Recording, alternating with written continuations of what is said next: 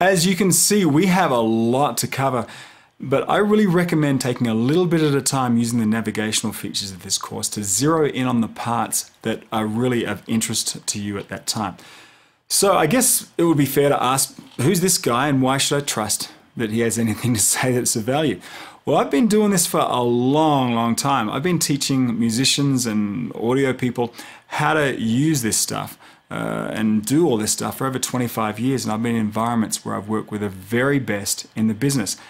Nothing teaches like doing it. I've done a lot of live sound.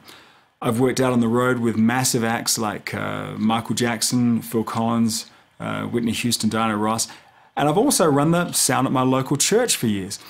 I've had the privilege of mixing thousands of events, and you know, you kind of get to learn what works and what doesn't.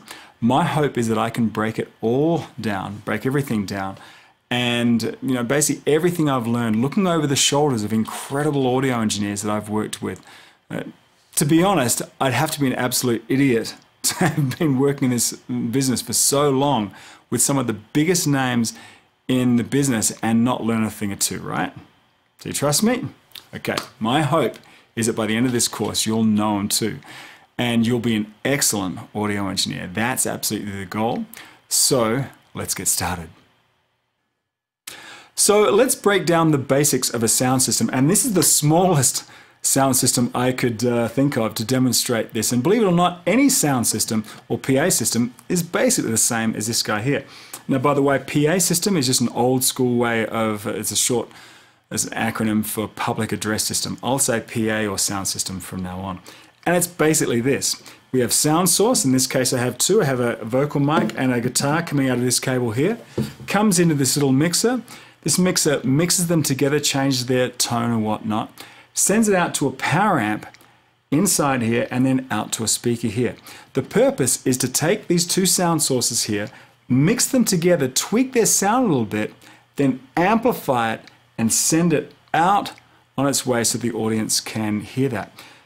Believe it or not, the biggest PA you can think of is basically doing the same thing. A PA system is taking all the inputs from stage, running them into a mixer that has EQ and effects, then running that through an amp rack, then into a pile of speakers. That's the basic structure of a PA system. And there are a few other things like monitor sends and crossovers and things, but this is pretty much it in a nutshell. Sound sources going into a mixer, maybe some effects, then out to the amp and speaker combination.